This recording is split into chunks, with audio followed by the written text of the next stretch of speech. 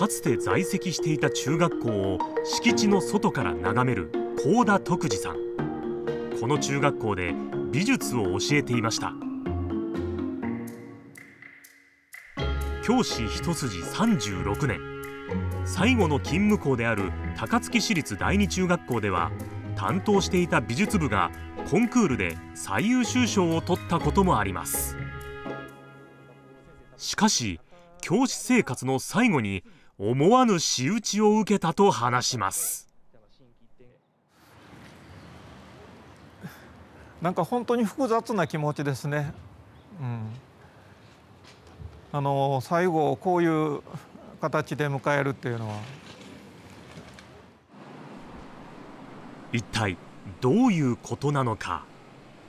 憤満取材班が訪れたのはこの中学校からおよそ4キロ離れた市の教育施設午前8時20分高田さんが出勤してきました。ご苦労様です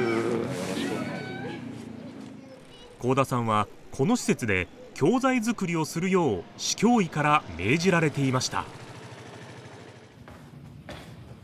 仕事場は施設4階にある会議室。ここには幸田さん以外に生徒も教員もいません。たった一人で仕事をするのです。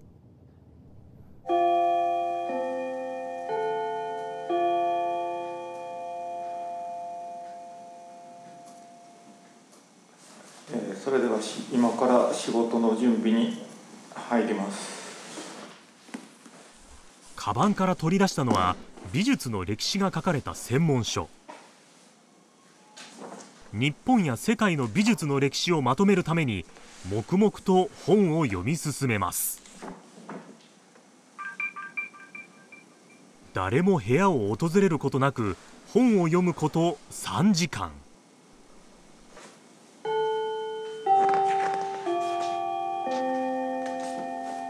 午前中の仕事を終えま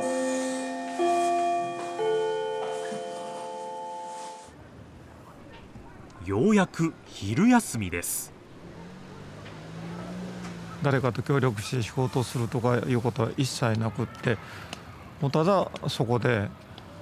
教材作りをしろという指示が与えられてるだけで。私にとったらもうなんかまあまるでもう収容所のような場所で実は幸田さんはすでに市教委から作成を命じられた教材を作り終えています。しかし中学校には戻してもらえず手持ち無沙汰な日々を過ごしているのです。この日も勤務が終わる午後5時15分までただ時間が過ぎるのを待ちます。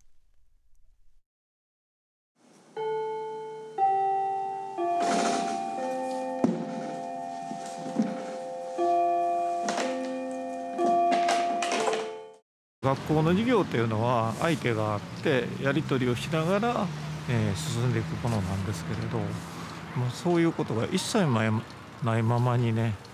あのー、もうまあ毎日が過ぎてるもうただそれだけのことなので、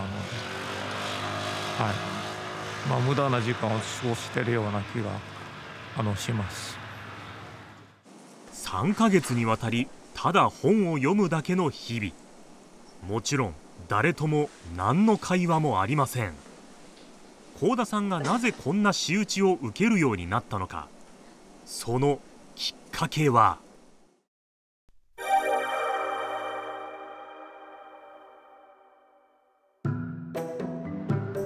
幸田さんがかつて在籍していた中学校の美術室にはエアコンが設置されていません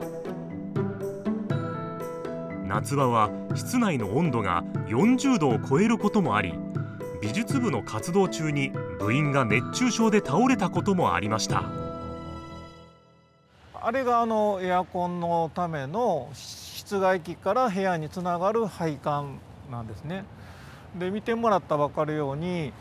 えー、4階の音楽室。で3階も音楽室なんですけれどそこにはあの管が入ってますよね。でも2階の美術室だけにはエアコンの配管の管が入ってない。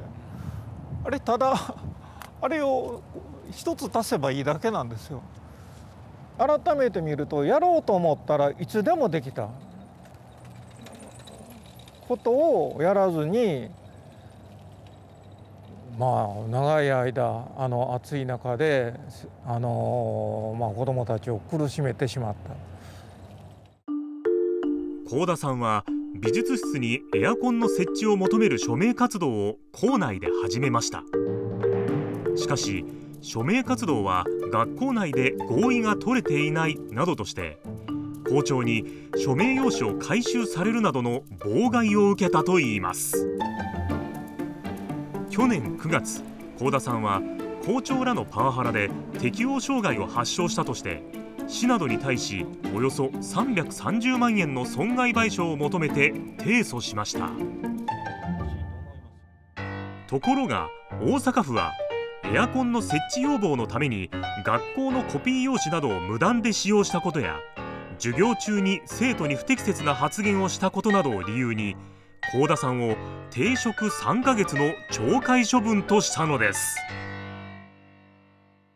そして停職処分が明けるとあの追い出し部屋行きとなったのです。私に責任があることはね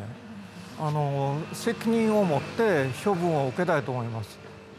ただその後も学校に戻さないっていうことの意味がね本当にわからない。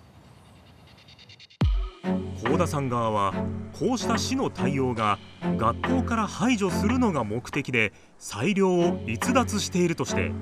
市に対し慰謝料を求めて訴えを起こす予定だといいます。幸田さんへの対応について市教委はどのように考えているのか。市側は幸田さんの停職処分とエアコン設置要望活動は関連がないとした上で市の施設で3ヶ月間働かせたことについては個人情報に関わるものもあるため回答を控え必要な事項については司法の場で明らかにしていきたいと文書で回答しました。先月31日教師生活。最後の日です。ちょっと扱いに困るんですけれど。市教委は幸田さんに表彰状を渡しました。なんかの冗談なんですかね。この日も向かった先はあの追い出し部屋。教師生活最後の6ヶ月は教壇に立つことも生徒との交流もかなわず悔いが残る終わり方となりましたあの学校にいれば、あのー、できることがたくさんあったのに本当に残念だとこういう状況を作り出した教育委員会許せないというもうそれしかないですよ。